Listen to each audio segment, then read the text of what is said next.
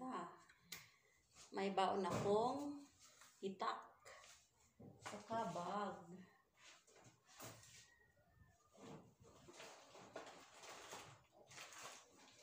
Tsaka may sabon at saka shampoo. Ayan.